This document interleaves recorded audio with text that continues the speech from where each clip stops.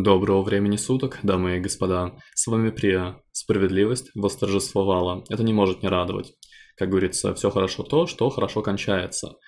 Относительно недавно на одном из видосиков я обсуждал Зал Славы. Чтобы попасть в Зал Славы, нужно убить ласта в мифической сложности в формате топ-100 на своей фракции. И различные китайские гильдии помогали другим людям, бустили их с целью того, чтобы быстрее заполнить Зал Славы, ну и чтобы другие люди в него не попали.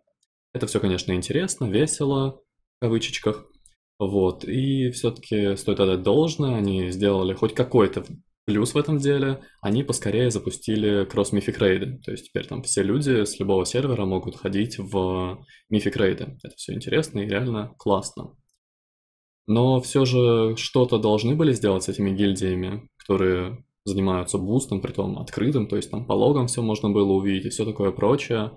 Э, моя идея была проста, я ее высказал в конце видосика, мол, типа было бы неплохо, если бы их просто-напросто убрали бы из Зала Славы. Но сделают ли это вопрос хороший? По итогу сегодня дан ответ. Эти гильдии убраны из Зала Славы, а на их место просто-напросто встали те гильдии, которые убили позициями попозже.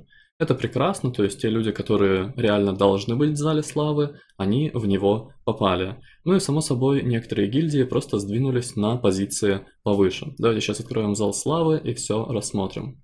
Мы не будем смотреть самые первые строчки, потому что там в принципе все без изменений. Мы рассмотрим только те гильдии, которые нам знакомы, которые находятся на Европе, ну и которые находятся на сервере Гордуни, русские гильдии. Гильдия Открытые Логи и гильдия Invincible.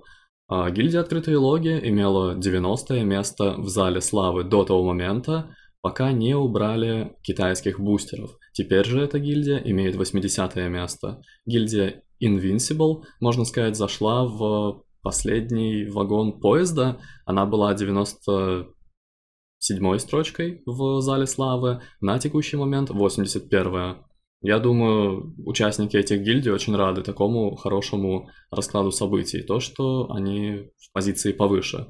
Но никаких других русских гильдий вообще, в принципе, не прибавилось. Добавились гильдии с Океании, притом гильдий много добавилось с Океании, если так глянуть. А европейские есть гильдии с Сильвермуна, с Тиракара и многих других серверов.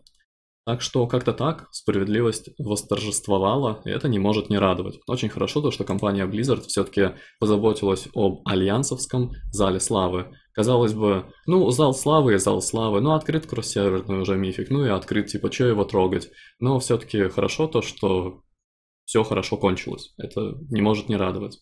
Такая позитивная мысль, и на позитивной ноте заканчиваю этот видосик. Всех вам благ, счастья, здоровья, берегите ноги, мойте руки, не забывайте о ссылочках в описании. До скорого!